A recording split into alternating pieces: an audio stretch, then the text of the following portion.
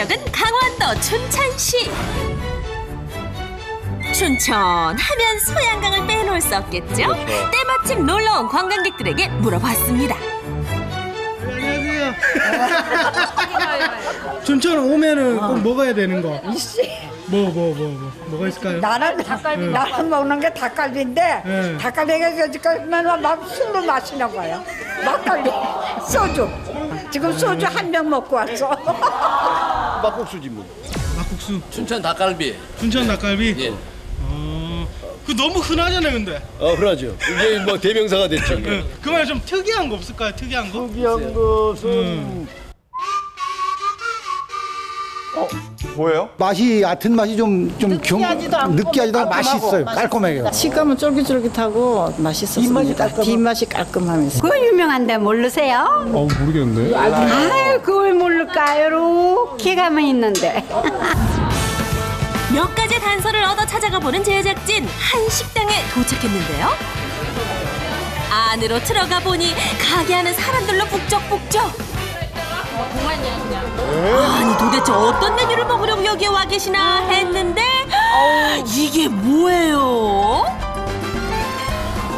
춘천의 첫 번째 메뉴의 정체 오리 한 마리 조개탕.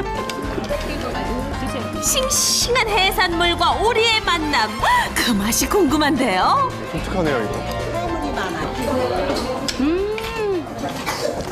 또 가족이랑 뭐 친구들 만났을 때 또 색다른 거 먹고 싶다 할 때는 이게 떠오르더라고요. 딱인 것 같아요. 해물의 그 시원한 맛과 오리 백숙의 그 담백한 맛이 정말 저희들 입맛에 아주 끝내줍니다. 짱입니다. 홍합과 키조개 등 여러 종류의 조개와 제철 맞은 꽃게 그리고 한 시간 동안 푹 삶아낸 오리에 몸에 좋은 부추와 산낙지까지 얹어주면 완성인데요. 우와. 우와. 와, 전복.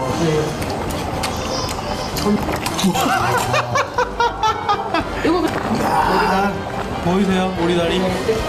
오리다리? 촬영을 간 거예요. 싫어가지고. 자, 드디어 본격적인 실식을 시작하는 담당 PD. 오늘도 말없이 먹기에만 열중하는데요. 아이고 맛있겠어요. 말 대신 알고 계시네. 온몸으로 표현하는 김 PD. 아, 내가 진짜 오리다.